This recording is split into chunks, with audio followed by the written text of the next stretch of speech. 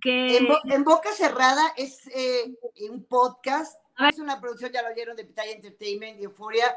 Eh, este podcast que narra eh, María Raquel Portillo, que como dice ella, para muchos es Mari Boquitas, en donde por primera vez está contando su historia. Son varios episodios, son varios capítulos de este podcast.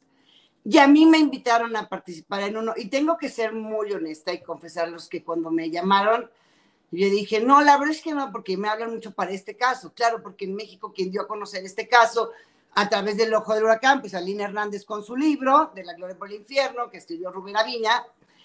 Y entonces, la verdad es que dije, mm", y la, productora, María García, me contactó y me explicó cómo estaba el asunto. Eh, dije, bueno, va, no es de dinero para que no empiecen, ay, claro, porque les pagaron. No, no, no me pagaron en peso.